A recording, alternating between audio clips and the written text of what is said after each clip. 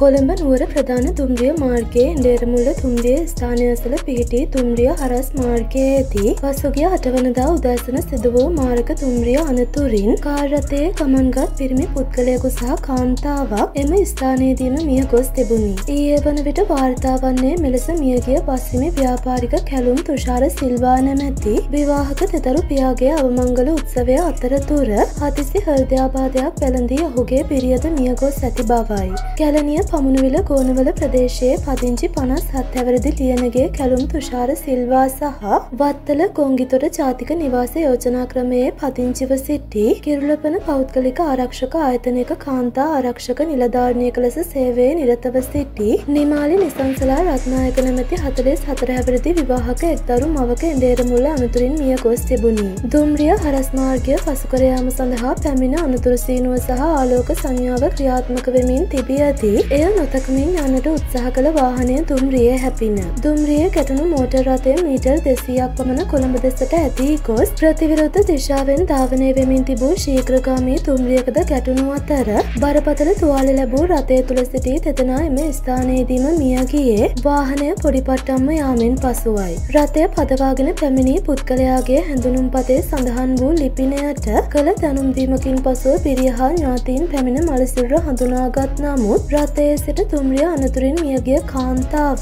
තම පවුලේ ඥාතියකු හෝ තන්නා හඳුරන අයෙක් නොවන බව මියගිය කැලුම් තුෂාර ලියනගේ මහතාගේ පිරිඳ එම අවස්ථාවේ පවසා තිබුණි. බස්රථ හිමි සැමියා අටවැනිදා උදැසන පහයි තිහට පමණ බස්රථයකට රියතුරකු සොයා ගැනීමට යන බව නිවසට පවසා පමුණවිල නිවසින් පිටවගිය බව සිය සැමියාගේ මලසුර හඳුනා ගැනීමෙන් පසුව බිරිඳ පොලිසියට ප්‍රකාශ කර තිබින. අනතුරින් මියගිය කාන්තාව තුම්රියෙන් රැකියාවට යාමට තුම්රිය ස්ථානයට පැමිණ සිටී බවත් දුම්රිය වර්ජනය හේතුවෙන් දුම්රිය ධාවනය නොවීම නිසා කෙසේ හෝ සේවයට වාර්තා කළ යුතු බැවින් මාර්ගයේ ගමන් කළ වාහනයට ගොඩ වූ බව ඇතමුන් පැවසුවද ඒ පිළිබඳව පැහැදිලි සාක්ෂියක් ඉදිරිපත් වී නැත්ත.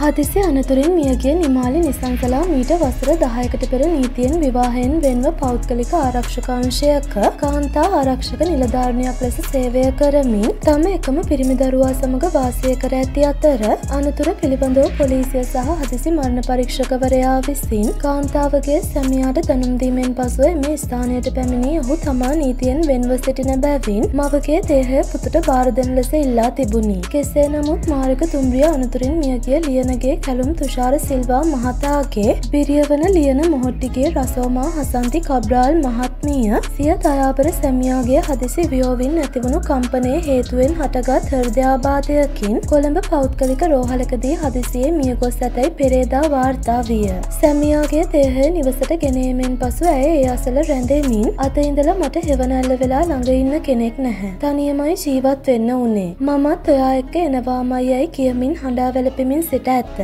ගැලුම් තුෂාර සිල්වා මහතාගේ දේහය පිළිබඳ අවසන් කටයුතු දහවනදා සිදුකිරීමට නියමිතව තිබියදී ඇයද දහවල් එකොළහට පමණ පපුරිදන බව පැවසූ බැවින් කඩිනමින් කොළඹ පෞද්ගලික රෝහලකට ඇතුළත් කිරීමෙන් අනතුරුව මෙසේ අවාසනාවන්ත ලෙස මිය ගොස් තිබේ. පෙරේදා මධ්‍යම රාත්‍රියයේ රසෝමාගේ නිසල දේහය කැලනියේ ගෝනවල පමණුවිල නිවසට රැගෙනවිත් ඇති අතර අවසන් කටයුතු පමණුවිල පොදු සුසාන භූමියේ ඊයේ සිදු කර ඇත්ත.